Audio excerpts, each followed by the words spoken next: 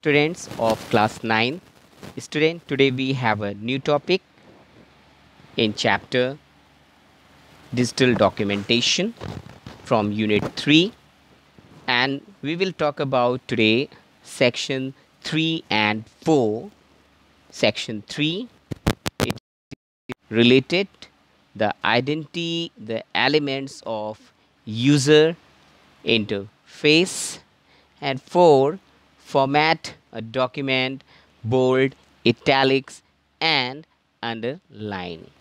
The student as you know when you open the ms word and you interface with such a screen of a ms word on which you can see all the elements uh, related to this application.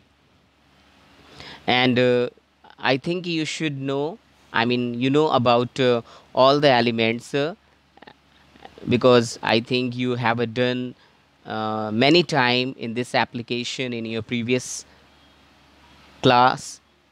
So now as a given in the book also we will talk about these all component one by one here.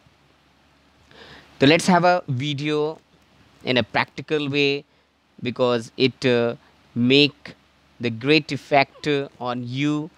You can understand well properly observe all the things all element uh, practically. Okay student so let's have a look of this video as practically.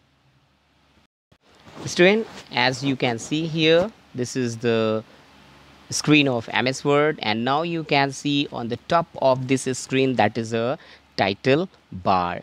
This title bar shows you the active name of application um, means uh, which file which application you have opened.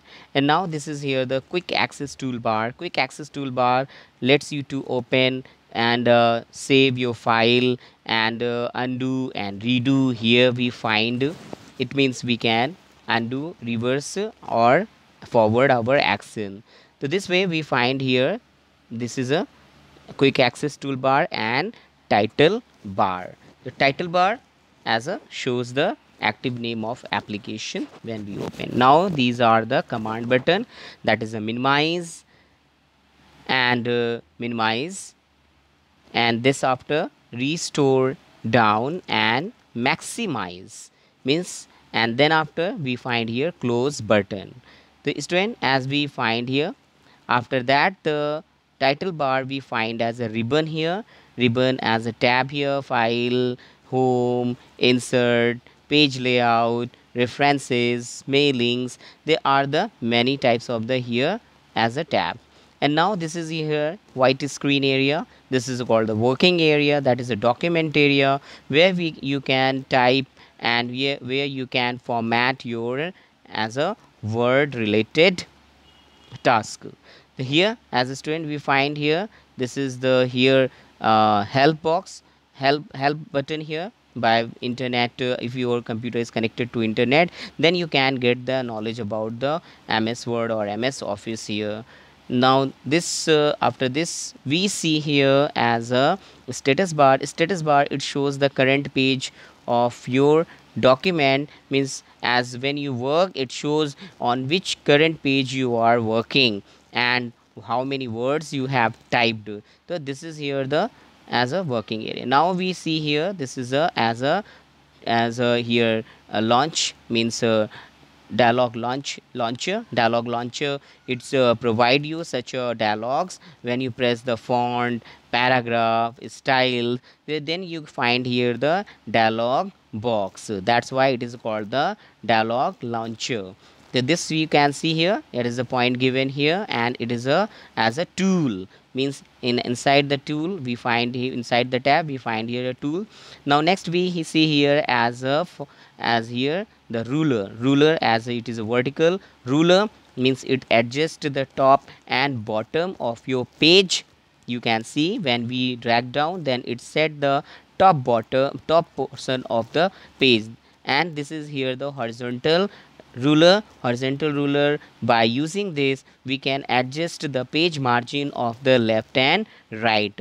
Here it is a given that as a here ruler. So by this ruler we uh, by adjusting the indent we can set here the first line uh, indent and here the left line. Now it is a as a vertical scroll bar the vertical and it is a horizontal scroll bar. We find two scroll bar in the screen of ms word horizontal and vertical. The vertical as it is uh, when you move your page so now split also here split by we can split the page. Means uh, if you want to break your page like in ms word as ms excel you can do this also in the ms word also and now we find here such a as a view as print layout and here read uh, read view and web layout view. The as here we find here the such a print layout and full screen web layout. These three view provide you on which you want to see your page. Now file here. If you want to create a file if you want to open a new file as a click on file menu and click on next option. We select here blank document. As you click the blank document here we find the new document. So like here we type here type something uh, on the working area and then now we save here. File and here save as or save button. You can press the save and select the location here where you want to save this file and write the file name and click on the save button. So now our file will, would be saved here. And again here you can see file and save as. Save as it is for the new file or rename the file as you can do. If you are creating the new file then you should select the save as. And if you are eh, doing the work on existing file you can select as a save button so this is here the difference between the save and save as button. Understand understood student here save and save as a different here. Now if you want to here open an existing file click on the file and then open here and select our area or drive or folder where we have kept earlier. Select that file as we have stored here. Now select and click on ok open button. So this way we can open an existing files also here. And this uh, next here we can uh, see here. We can as a close click on the file menu click on the close button. So we can close the opened but opened file here. And uh, if you want to exit from this application then file click on file menu and click on now exit button. So it means you will be out from the this application entirely. This time you can do uh, these all things uh, at your home also. Now next we learn here about the bold italic and underline. Student as uh, i have written some as a matter for applying the bold italic and underline style these are the such a style which we can apply for to uh, for the such a important uh, information or important uh, words which we want to show as a important term of important matter of the paragraph.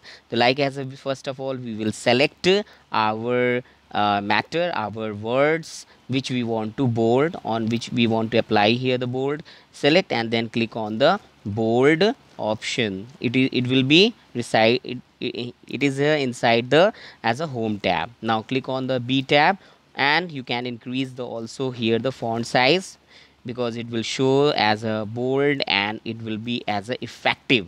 Means sometime we want to show as a uh, important uh, matter so then we can here make the bold our text. So first of all we will select then we can make here bold. Select and then click on the b button. B button it is for the bold here. So this way we can make our text as a bold. Now we want to italic so then click on the italic button i button.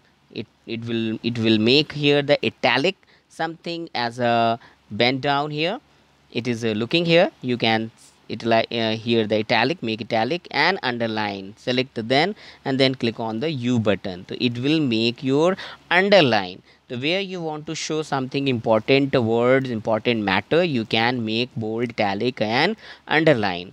The student first of all you will select then you will apply. Without the selecting it will would be not happened anything so it means it is very important to select your text or your matter before applying any option or anything.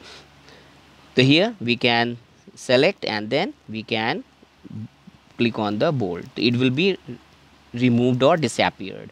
It means if you have selected and if you want to remove the effect or style so first of all select uh, and then click on the B button, I button and U button again. So it will be removed. It will be disappeared that effect on your text. So now as uh, one thing here more about if you are uh, writing, if you are going to write uh, the text uh, as a bold or italic, so you can as a first click then you can write okay means uh, it is not a uh, compulsory key after writing you can apply. No if you are going to write uh, bold or italic or underline so you can click on this button to apply here as a bold italic and underline. so this way we can make here bold italic and underline. This is the related to our style group here. So as we are writing here the students see here as a okay now we can use here the shortcut key. Shortcut key for as a control b for bold control i for italic and control u for underline. So we can make also by pressing here the button or by pressing the sort by using the shortcut key from keyboard. Okay the control B for bold, control I for italic, control U for underline. The as we can here write before writing here first click on the B then write. So automatically it will be bold. And if you want to write in italic then as a click on the italic then it will write a, as a bold with italic. And if you want to write with the underline then click on the underline or can underline. And if you want to reverse your action then you can uh, as a selected here. And uh, now click on bold click on i click on u. Automatically this effect will be disappeared from your text. So if you want to remove uh, this effect from entire text so you have to select the all the text if you want to remove okay? And if you want to remove by the next step as you are going to write here so only you can click the bold italic and underline button then you will write automatically. It will be normal font. So this way is today we can use the shortcut key and we can use here the button on the given here as a tab here now student i want to tell you something here about the font group because it is a very very important for our characters to format. If you want to format if you want to give attractive look to your character or text we have to use this uh, font group okay the student as you can see on the screen as a given here the font group. In this font group we find here the many types of the tools related to the font here. So now as we you can see first here the font size font size as a given here to change the size of your font means you can increase or decrease your font according to your convenience here. Now we find after that as a font font means it is a view, view of your font means text or character. It is a pattern or style you can say as of the character. You can change by here. This is a drop down as it is given here. If you click on this drop down automatically there will be a list of the font and you can select any font. But before apply any font or uh, font size you have to select your text. It means without the selection there will be no nothing would be apply. So it means it is very necessary to select uh, the text uh, before apply any options. So now here we find next uh, as a bold italic and underline. Now in my as uh, today I told you about this uh, by video bold italic and underline. You how can we use this button bold italic and underline? Now we find here as a super subscript and superscript. Subscript student as you want to write as a formula of H2O okay? So H2O how can you write as a? First as you write in the computer H2O okay? It will be as a normal. But uh, we want to make as a 2 in the as a below of the hn2 so first you will select the 2 okay student? You will select the 2 and press on this press on this option. Press press on this tool. So as you click on this option automatically your 2 will be as a subscript now. So it means it will look like as a h2o okay this will be look like as a if you use this for as a subscript. Subscript make your text as a below in the normal text. So now here the superscript. Superscript uh, in the mathematic we use here means uh, sometime we use the as a right for the in the power in the exponent form. So we use here the superscript like as you want to write as a square form square form means 7 square. So 7 square how will you write? You will write in the computer like this 72 so then how can make you 7 square? So for what will you do here? You will select the 2 okay? 2 you will select because you want to make as a superscript. And now you will press on this button okay? You will press on this button so automatically your text or character a number would be like this 7 square would be like this. Okay using this super or i mean subscript here. Okay subscript and superscript. So superscript make your character or number as a above than the normal text.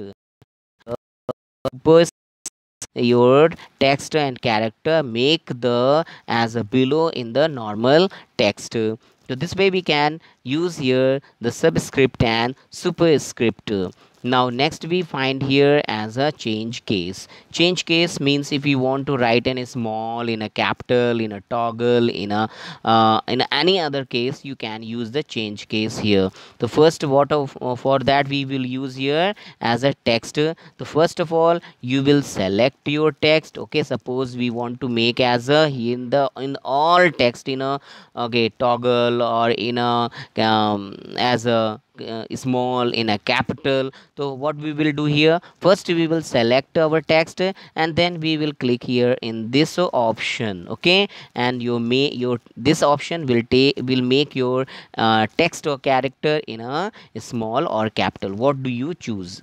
From this button here. And after that we you want to make the color so making the color of your font we will use this here font color font color making for the such a as a coloring of your text. So we will click here the drop down you can see here the drop down. When you click on this drop down you will find the list of the palette of the color. You will choose any kind of color here any any color according to your desire and select and apply. But before the apply the color you will select your text. Okay understand?